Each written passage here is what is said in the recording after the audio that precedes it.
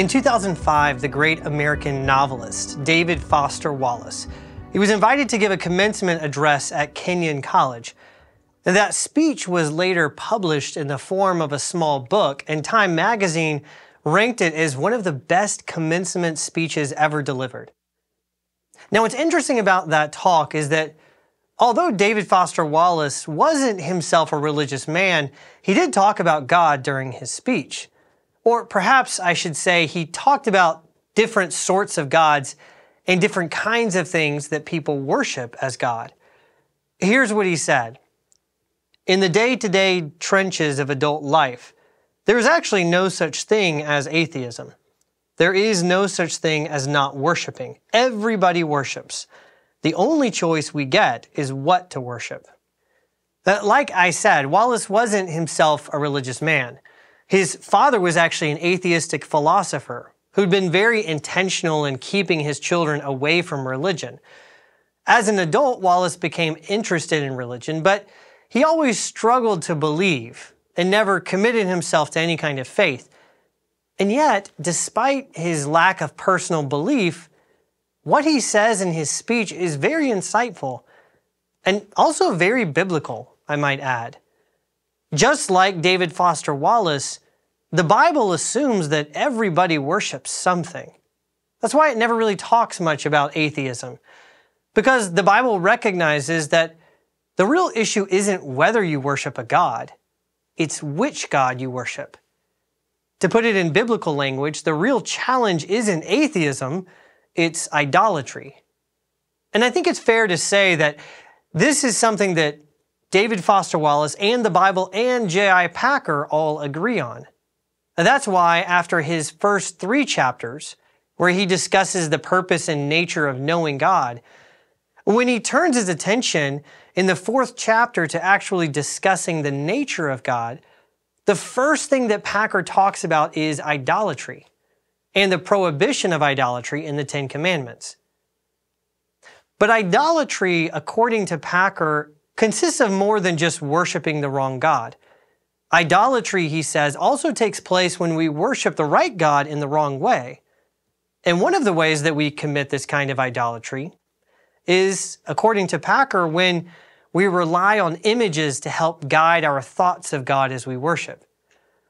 Now, his criticism of the use of religious imagery is very thoughtful, but not all Christians would agree with him.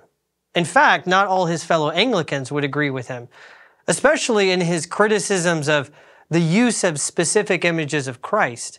And Packer knows that. In fact, when his book was re released in 1993, he wrote a small addendum to this chapter where he tried to respond to some of the arguments that he'd received from some of his readers who had taken issue with this part of the book.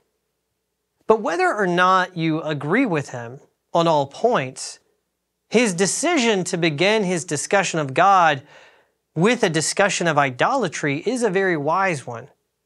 And he's undoubtedly correct to say that we commit idolatry when we worship false images of God.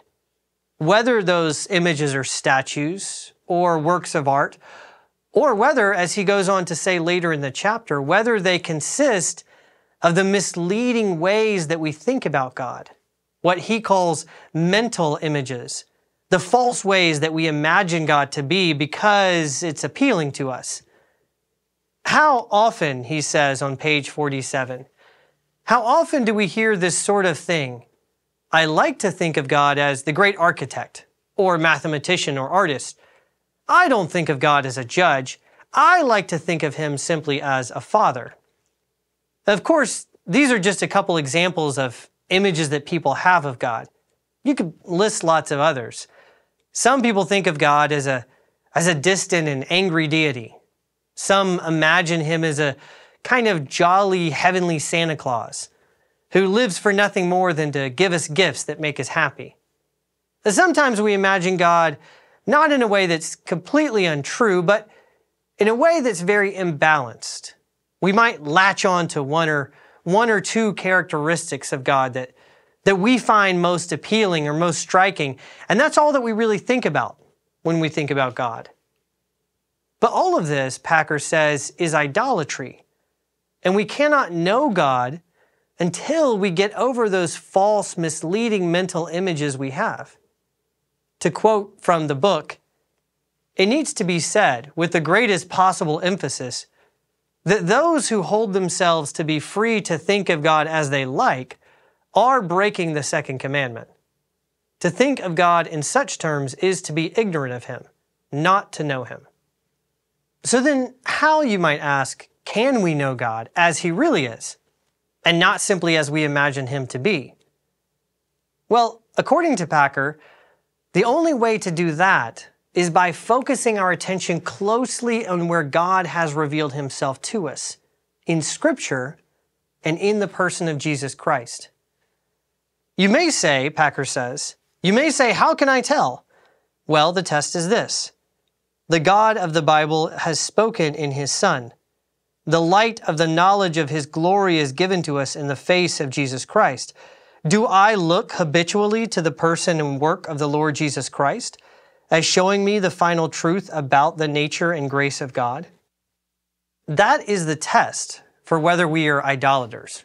And that's also how we avoid idolatry by looking not just once, not just occasionally, but by looking habitually, as he puts it, to what God has shown us about himself in the person and work of his son, Jesus Christ. And that's also why Packer dedicates his next chapter in the book, chapter 5, to an explicit discussion of Jesus himself. Or, as Packer puts it, God incarnate. You know, when I was reading this chapter, I was reminded of the fourth century bishop, Athanasius of Alexandria, who was responsible almost more than anyone else in maintaining the church's confession of, of Jesus as truly God during a time when many began to doubt it or say very misleading things about it. So, as you might imagine, Athanasius, he wrote a great deal about Jesus as God incarnate in his writings. And when he wrote, he often noted that if we're going to understand Jesus rightly, then we need to recognize that the Bible has what Athanasius called a twofold proclamation of the Savior. On the one hand, he said, Scripture tells us something about who the Son is eternally as God. He is the Word and the power and the radiance and the glory of God. On the other hand, Scripture also tells us about who the Son became and what He did for us and for our salvation, as the Creed puts it. I say all of that about Athanasius because when I was reading this chapter, I realized that Packer's doing something very similar. He wants us to know God truthfully in the face of Jesus Christ. But in order to know Jesus Christ truthfully, we have to understand both who he is and what he has done. Packer answers the former question, who he is, first, in a section under the heading, Who is this child? And his answer is very similar to the one that Athanasius gave. Jesus is the eternal Word of God, the one through whom all things were made. And yet, for our salvation, he is also the one who voluntarily took human nature upon himself and was born as a small, defenseless child in a backwater Palestinian town called Nazareth. This is a, a mystery, Packer says. It's not something we can understand only something that we can gaze and wonder at. At the same time, the, the fact that the Son was born as a small child on our behalf, that has monumental consequences on what we think of God and also how we live in response. Because if we truly know this God, the one who became poor for us at Christmas, then it should affect the way we live our lives. If we truly know God, then we ought to have, as Packer says, we ought to have the Christmas spirit. It is our shame and disgrace today, he says, that so many Christians, I will be more specific, so many of the soundest and most orthodox Christians go through this world in the spirit of the priest and the Levite in our Lord's parable, seeing human needs all around them, but after a pious wish and perhaps a prayer that God might meet those needs, averting their eyes and passing by on the other side. That is not the Christmas spirit. For the Christmas spirit is the spirit of those who, like their master, live their whole lives on the principle of making themselves poor, spending and being spent, to enrich their fellow humans, to do good to others in whatever way there seems need. David Foster Wallace said that everybody worships a God of some kind. The only real question is which God you worship and what you imagine that God to be like. In his chapters, J.I. Packer agrees, and he goes further. When we entertain false ideas of God, we are committing idolatry. And if we truly want to know God, then we have to look habitually to where he has revealed himself in the face of his Son, the one who became poor for our sake, so that he might make us rich.